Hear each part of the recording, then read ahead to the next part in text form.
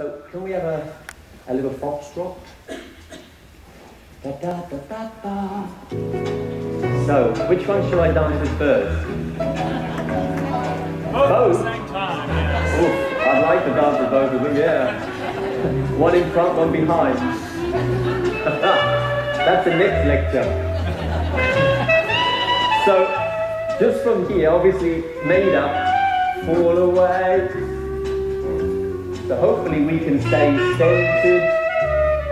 Oh. Is she good or what about me? Oh, good.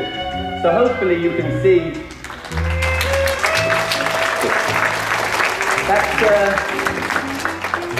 that's not a that's not an easy uh, amalgamation. I just picked that because it has a lot of a lot of change. The idea of this is that we're not keeping you know one position throughout.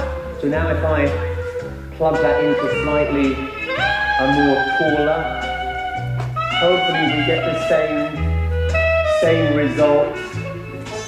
Oh, I need a couple of hours. Are we okay? Oh. So, thank you.